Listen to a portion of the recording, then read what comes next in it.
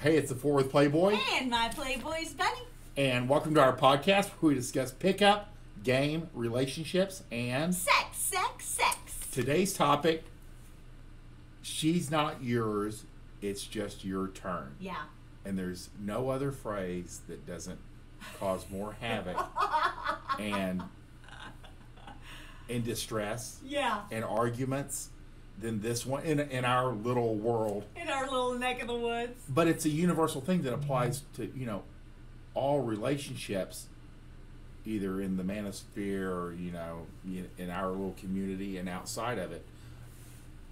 And everybody kind of has their own definition. I mean, a lot of girls, I mean, anytime I've used this, and I use this phrase usually just as a filler, Yeah, yeah, you know, yeah. throw- because, again, we've seen it for a long time, but for a lot of guys, they've not seen it. Well, it's a filler, but it doesn't make it less true or less no, valuable of a no, lesson. No, you just see it, and then it becomes very what would you say, um, common for you to see it, but you don't really kind of process it. Right, right, right. You know, but guys have like very strong opinions of it. Girls really push back against this. Absolutely. You know, um, and let me let me let's do it this way. So when you hear this phrase, what do you think? Me? Yes, what is your um, understanding of this phrase? Well, my understanding has always been that all relationships are transitory. Whether it's um, whether you are dating for a very short time, and so it's just your turn because you're not dating a long time, or it's just your turn because inevitably, unless you die together in a car crash or a plane crash or something, quite literally one of you goes first. So inevitably life is life is long and and whether it's a romance whether it's um, a business relationship or partnership whether it's friendships very often they just don't last forever. And that's okay Uh, not all relationships are meant to last a lifetime some are just for a phase. So it's your she's not yours, it's just your turn. To me makes perfect sense.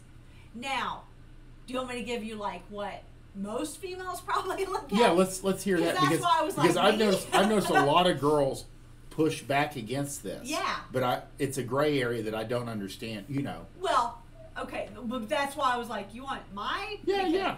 Okay, so what girls think when guys say this, or when you know they're seeing it on the interweb, is the equivalent of that meme that went through where there was a whole line of men fucking that one girl on the couch in doggy style. it's community property. Yeah Yeah, it makes it sound like it's just your turn right now.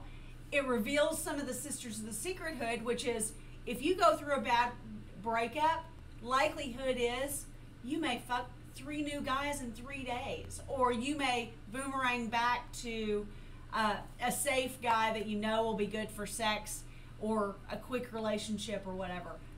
It's just your turn for most girls when they see this phrase.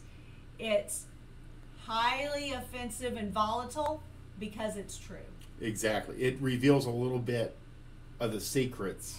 it's the se- because it's the se- make no mistake it's the secrets that they don't even admit to themselves Exactly. and they don't admit to their, their friends and they don't admit you know to almost anyone and they even deny it within their own brain Yeah, yeah, you have to. I mean, I guess for some girls, and, and it's funny because like this, you hear this things that we know to be true. Yeah. you'll have girls jump in and go, "That's not true," and it may not be true for them, or their friends haven't told them this. yeah But these are not things that you would ever share.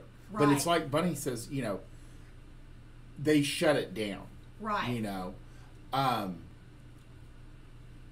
my assumption on this and you know when i first saw it i said well that makes sense but i first saw this i was already 50 you know Oh, did so you not see this phrase? No, I had never seen this phrase already? before, yeah. Okay, so that's So- still like 35 years with girls. yeah and my idea you know my first assumption was it was to kind of help guys through a breakup Yeah. you know but in but the longer I've been around this, I realize how good it is for a basic assumption.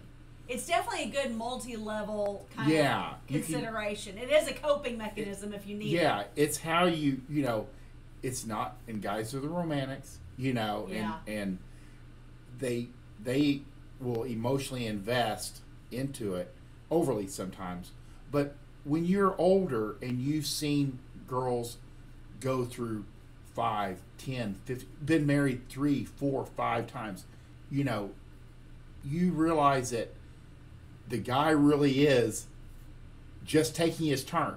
I mean, for just and Bunny uses a better word, which is transitory. Yeah. You know, but when you do know people from the age of like 15 and you see them go through boyfriends and then husbands and then boyfriends again. yeah. And then maybe one husband that they've kept the last 15, 20 years. Yeah.